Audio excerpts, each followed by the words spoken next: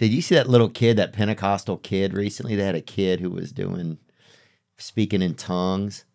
Oh, he was wow. a young preacher.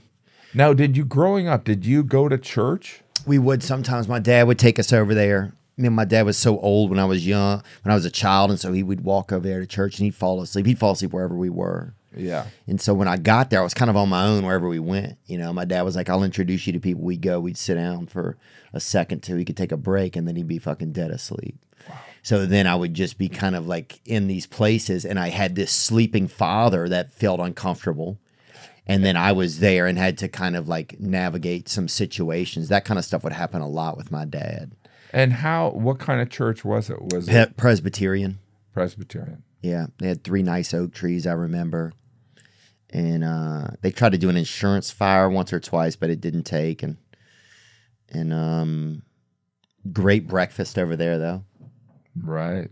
God, nothing will bring you home. You know, nothing will bring you to the Lord like a dang one of those donuts with pink frosting and, well, I just egg. think of like different churches. Like you remember, like we went to this church uh, in Maryland that, uh, just amazing. You go and get pizza, and oh, donuts, and you know you're like, you know, you're usually a little hungover on Sunday, and you're like, this is sweet. You know, a little kick from that lemonade. You're like, this is perfect. yeah, God knows what I need. But Yeah, church was fun. I thought the funnest thing about church was just kids playing and stuff like like a social environment. Yeah. You know? And it used to be that was the place you saw anybody. They didn't have all this other stuff. You had to, you know, fight off yellow fever all week and dysentery and get everybody's butts clean and everything, and then wagging them up to church. And that's where you'd see somebody and hope somebody would, with a little bit of money, would make love to your daughter, or you know, or you know, it, that's where you know that's where it happened. It Yeah. all happened right there on the, you know, And you know, it's like you know, there is something strange about because also I spent my twenties and you know my thirties very much opposed to it, and then I married this woman that that uh, is Catholic, and I mean I was raised Catholic, but kind of just kind of culturally, and but there is something about there's a, a quietness there that you know there's something meditative about it. And maybe because it's so boring but it was it's there is something about like oh and i'm just standing there with my kids. I'm just sitting there with my kids. It's it's like the world slows down.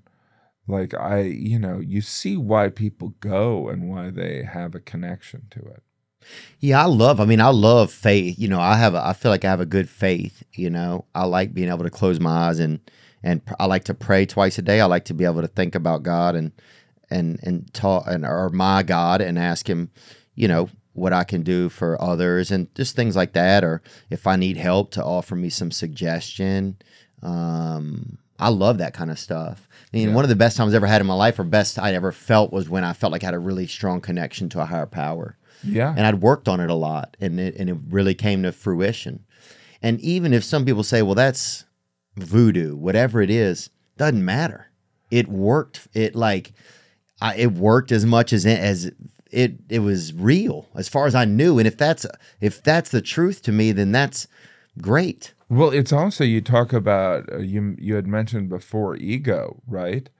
Like that humility or just a concept of humility is so necessary, right? To navigate this because if you let the ego take over, Mm.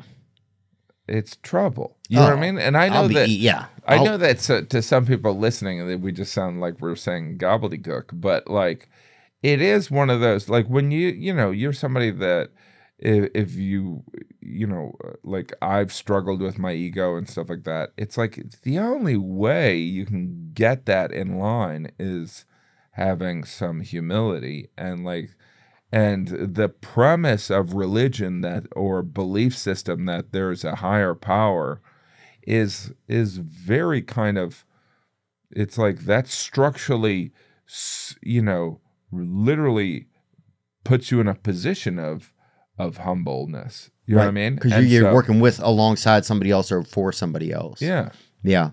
oh, I'm so grateful that there's something else out there that I can believe. Because, yeah, I think I like rejected the world so much that I was in growing up that I wasn't going to take direction from anybody in it, probably. You know, I hated my environment so much. I despised, like, I mean, I despised my fucking environment, you know?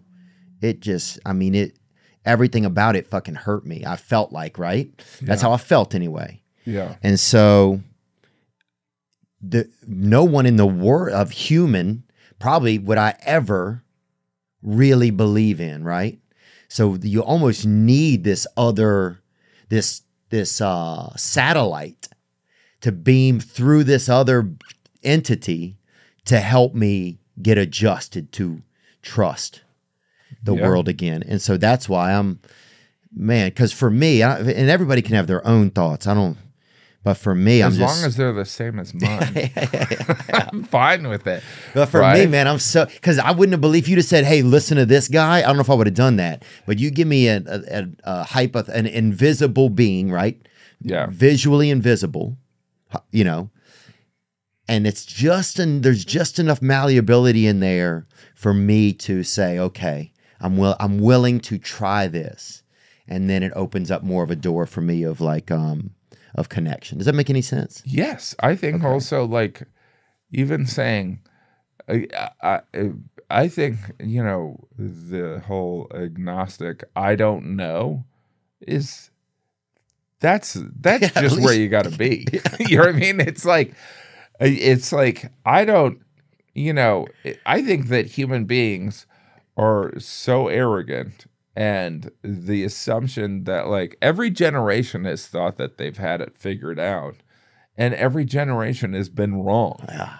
do you know what i mean like even you know so it's like if we can't be like we don't know then we're really kind of starting from a bad position Hope you enjoyed that video, and you can watch another.